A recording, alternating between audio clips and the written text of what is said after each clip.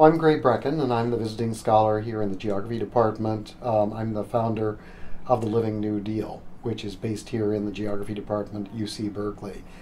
And we are inventorying and mapping um, the entire physical legacy of the New Deal in California. Wow. Uh, and I am a three time alumnus of the University of California. I first came to Cal as an undergraduate in 1967. I got my BA, my MA, and my PhD here at Berkeley.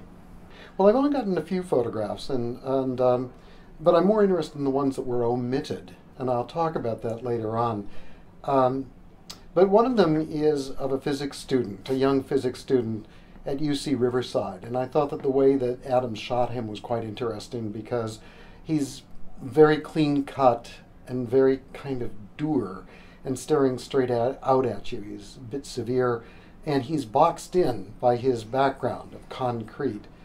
And I don't know whether Adams did that deliberately, um, because for me it represents the degree to which the young people, young men, were recruited into doing nuclear research at the University of California at that time, and the problem that it represented for the university, because its involvement with nuclear weaponry and technology has always presented it with a, a real public relations problem with the public.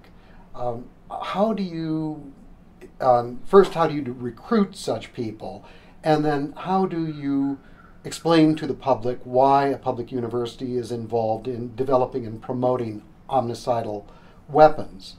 And so, um, what the university has done is to um, not talk about that as much as possible, to just not address that. And what it seems to me um, happened is that um, Adams and uh, Newhall got with the program. They really didn't address it, except in a very positive kind of way. So that brings me to the photographs that they didn't shoot, because I think that that's really more important than the ones that they did.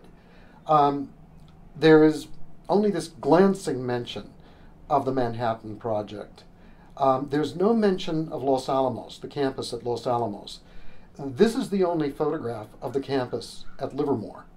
Um, and it's a close up of a machine. It's not a landscape. It's not buildings. It's not the people that are there. So uh, you have something very serious omitted. Two of the major campuses of the university, which the regents don't like to be talked about as campuses on a par with, at that time, the other nine. But if you go to the university headquarters in Oakland, you'll see that they are actually featured with equal prominence of the other university campuses. So they are campuses, but they're devoted to something rather different. Now, what um, Newhall does talk about, again at great length, like the university does, is the heroic figure of its first Nobel laureate, Ernest Lawrence, um, and all the cyclotrons that he built and the kind of heroic march of the discovery of transuranic elements. But she doesn't mention one J. Robert Oppenheimer, which is interesting because Oppenheimer was by all considered to be the far greater physicist and one of the greatest physicists of the 20th century who did so much of his work here at Berkeley. But he's completely out of the picture. And so, again, I think that uh, that is probably because everybody associates J. Robert Oppenheimer in their minds with the atomic bomb, and they didn't want to do that. Now, the photograph again that they did not include um, would have been a photograph of the university's star physicists and regents joining the generals and the politicians in the Marshall Islands on Adirondack chairs with sunglasses, watching thermonuclear fireballs vaporize millions of tons of seawater and coral and gusher it into the jet stream to be broadcast all over the planet. The military shot th- those photographs, but they're not in the photo in the book, obviously, because they're not Ansel Adams photographs. But those photographs are very, very telling because Adams also shot Ernest Lawrence's brother, Dr. John Lawrence, using carefully controlled radiation to fight cancer. So you get the idea that the radioactivity is a benign thing. You can keep it under control. There's no mention of this vast, uncontrolled experiment um, of the nuclear tests and the de- degree to which the entire planet was contaminated in short order with long-lasting carcinogens. This was, but of course, you don't expect that in a book like this because it really is kind of a commercial production. It is, of course, to put the university in its best light. Um, what disappoints me is, as I said, that Ansel Adams and Nancy Newhall got with the program. Magnificent photograph looking out the Golden Gate with the campus down below.